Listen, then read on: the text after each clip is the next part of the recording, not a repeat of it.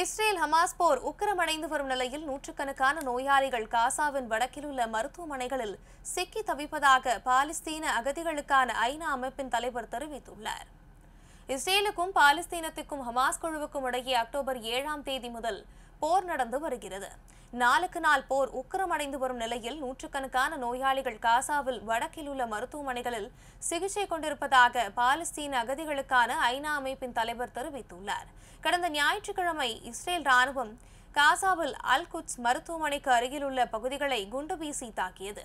ஆனால் நோயாளிகள் பலர் தீவிர சிகிச்சையில் உள்ளதால் அவர்களை நகர்த்தக்கூட முடியாத சூழல் ஏற்பட்டிருப்பதாக மருத்துவர்கள் வருத்தம் தெரிவிக்கின்றனர். இஸ்ரேல் அப்பகுதியில் தொடர்ந்து வான்வழி தாக்குதல்களை நடத்தி வருவதாக பாலஸ்தீன செஞ்சிலுவை த சங்கம் தெரிவித்துள்ளது. சுமார் பதினான்காயிரம் பொதுமக்கள் மருத்துவமனை மற்றும் அதன் மைதானத்தில் தஞ்சமடைந்துள்ளனர் என கூறப்படுகிறது. அக்டோபர் ஏழு முதல் காசா மீது இஸ்ரேல் நடத்திய தாக்குதலில் இதுவரை எட்டாயிரத்து முன்னூற்றி ஆறு பேர் கொல்லப்பட்டனர். அதில் மூன்றாயிரத்து நானூற்று ஐம்பத்தி ஏழு குழந்தைகள் அடங்குவர். மேலும் இருபத்தி ஓராயிரத்து நாற்பத்தி எட்டு பேர் காயமடைந்துள்ளனர் என்பது குறிப்பிடத்தக்கது.